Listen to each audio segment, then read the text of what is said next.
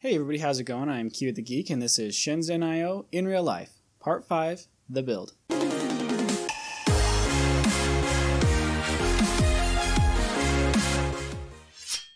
So in today's episode, we're going, going to cover the build. So I've gone through and I've 3D printed the mechanical design that we did back in part 3.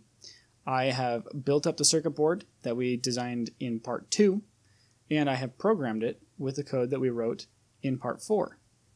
So now we're going to see how everything comes together and take a look at that. But before we go on, I just wanted to throw a couple of quick thank yous out to my Patreon supporters, to Tom Van Loon and Yannick Poirier. Thank you so much for your support. It is humbling and truly appreciated. If you want to support me, you can hit me up over at patreon.com slash kuitthegeek. The link is in the description below. Other things you can do to support me is you can like and comment on the video. Be sure to subscribe. Click the little notification bell so that you get notified as soon as my videos go up. And be sure to be sharing my channel on your social media so that other people you might know that could be interested in my content can find me whether that's your friends or your coworkers or anybody who could be interested in this, let them know by sharing my channel. Thank you. Now, on to the montage.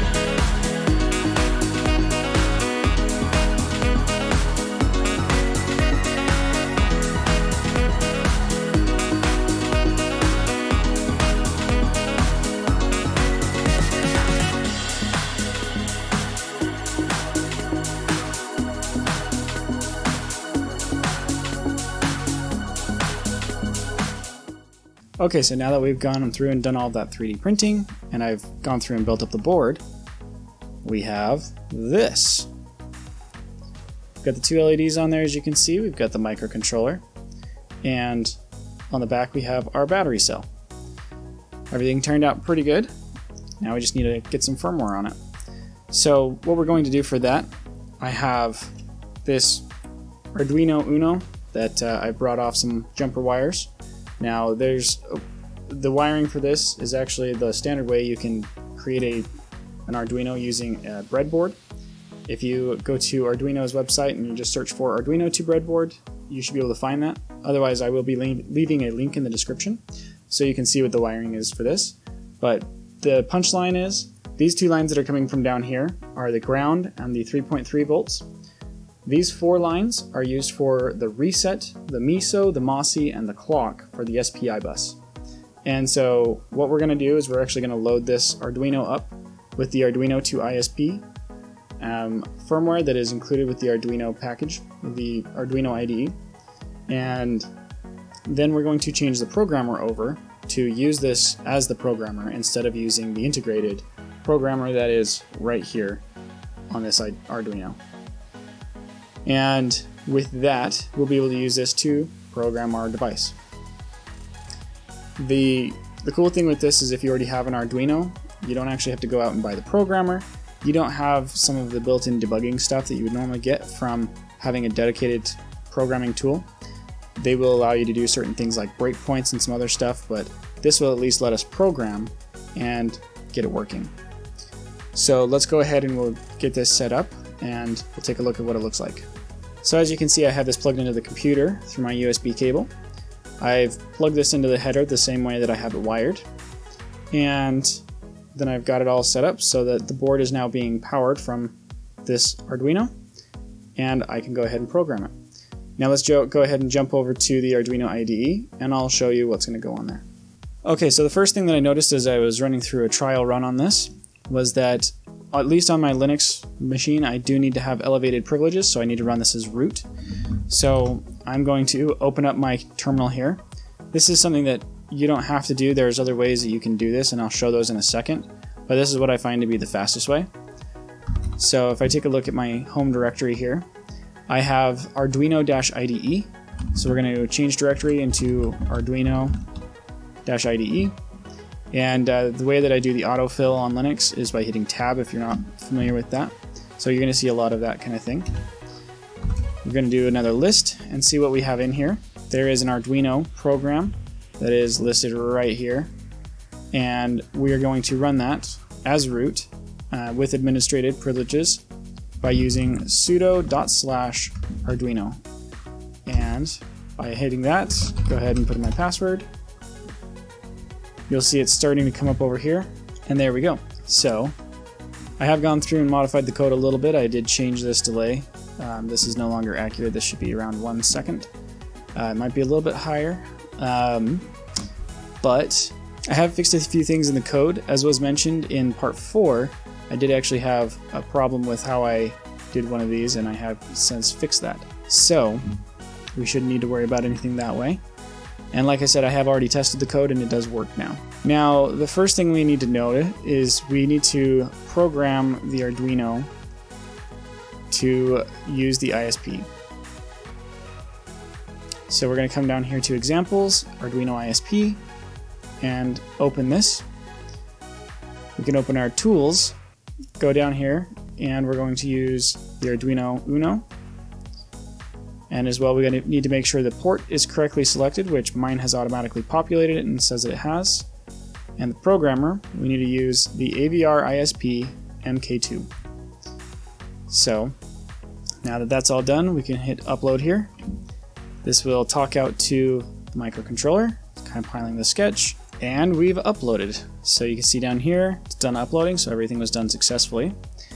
Now we can close this, come back over here, and we need to change a few things. So we're no longer going to be trying to make this as an Uno, but we're going to use the Arduino Mini, or why am I, okay, Arduino Pro or Pro Mini. And we're going to set this for the Atmega 3.3 volts and change our programmer back to Arduino as ISP. Now that we have that, we're going to go through and we'll burn a bootloader. And you can see here we actually got this error. It says the expected signature for the Atmega 328P is IE950F. Now this is because this is looking for the, the 328P and we use the 328PB. Now the PB is a little bit cheaper and it does actually have some additional features as uh, such as an additional UART. So we need to go through and modify this. So what we're going to do is come down to our file structure. We are going to navigate into the Arduino IDE, go to Hardware, Tools, AVR, and etc. Now as you can see I've already done a backup of this. So what we're going to do is we're going to open up avrdude.conf and this is the file. So what we can do is just do a quick control F to find, looking for a 328p, and this is going to tell me right here where I'm starting to find it. So come down here, and this is where we have the signature. So this is what it's storing as. Now if we look over here to the backup config, this is something that I've already modified for this, and I've got this note here that we're going to use 0F for the 328, or we're going to use 16 for the 328PB. And we'll just go ahead and change it over to 16. This is going to be, you notice I opened up the backup copy and I've got the normal configuration copy.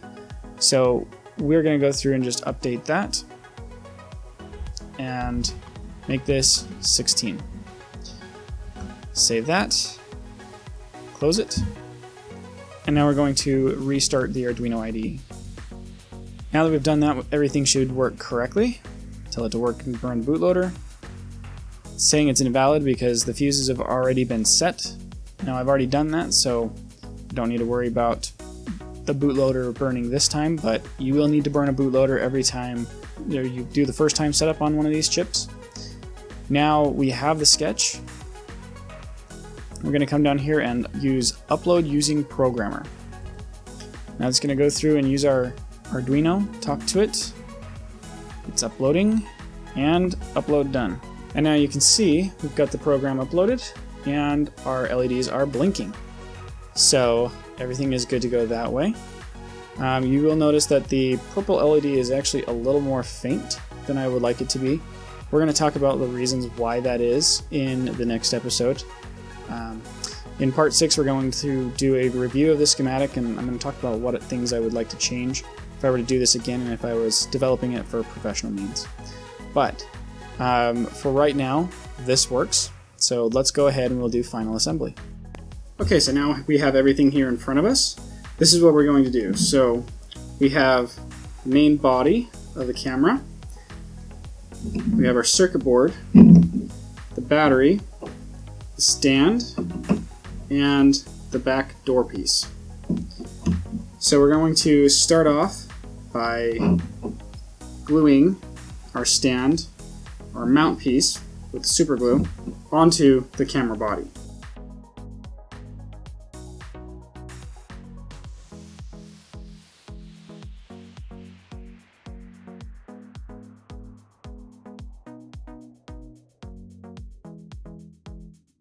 And we will go ahead and let this cure. I think that should be okay.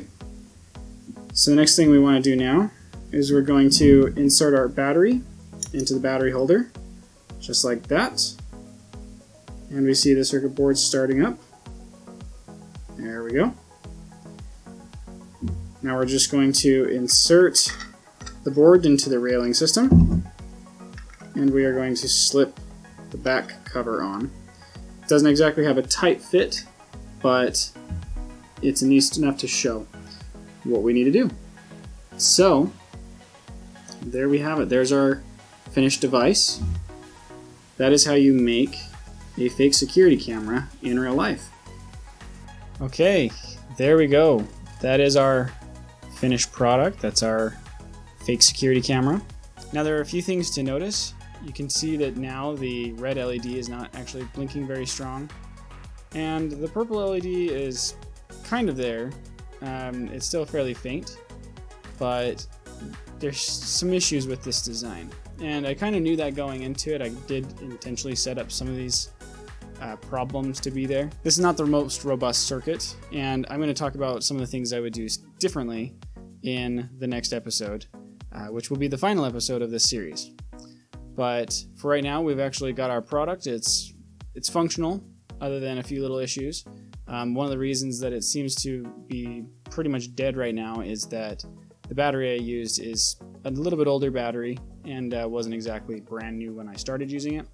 So its charge is not very great. But there's also a few other things going on that I'm going to talk about next time. So for right now, that's pretty much it. So again, be sure to like, comment, and subscribe. My current channel goal is to get the channel up to 1,000 subscribers. So if you have any friends, family, or coworkers that you think might be interested in my channel, please let them know. Share it on your social media. And as always, we'll see you in the next one.